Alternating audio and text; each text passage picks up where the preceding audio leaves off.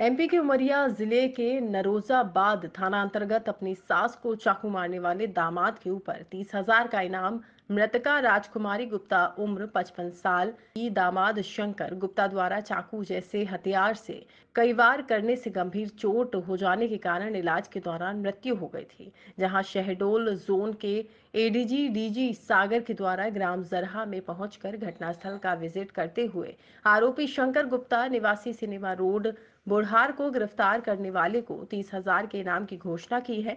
वहीं आरोपी के ऊपर धारा अपराध क्रमांक दो बट्टे 24 धारा 302 के अपराध में आरोपी को जल्द से जल्द गिरफ़्तार करने के लिए पुलिस के द्वारा मामले की छानबीन की जा रही है।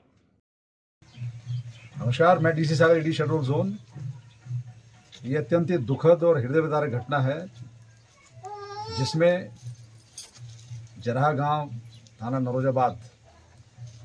यहाँ पर एक माता जी को, राजकुमारी गुप्ता जी को, उनके एक दामाद के द्वारा चाकुओं से गोद कर गंभीर रूप से घायल किया और चिकित्सा के दौरान उनकी शेड्यूल में मृत्यु हुई।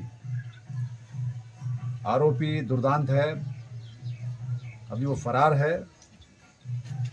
जनता से अपील करता हूँ मैं कि उसकी गिरफ्तारी करवाने पर सूचना पर तीस हज़ार रुपये की मैं उद्घोषणा करता हूँ।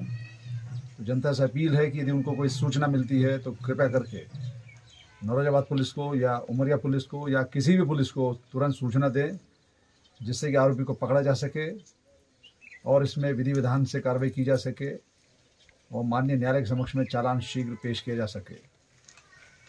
धन्यवाद। जय हिंद।